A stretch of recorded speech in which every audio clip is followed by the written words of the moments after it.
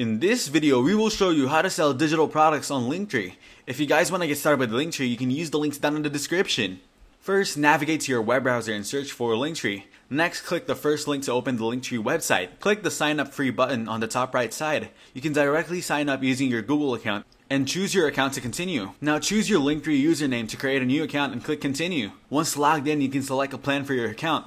Otherwise, join for free to proceed. Then pick a style that feels right so you can add content later. After that, start with the selected template.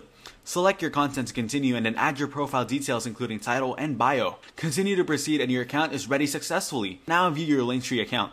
Next, go to the admin button on the top right side. Go to the shop tab and add your product by selecting the relevant option here. Finally, enter the product URL and it'll be added to your Linktree account. So that's how to sell digital products on Linktree. Make sure to use the links down in the description to get started with Linktree. If this video was helpful, please consider leaving a like and subscribing to my channel. With that being said, I'll see you in the next video.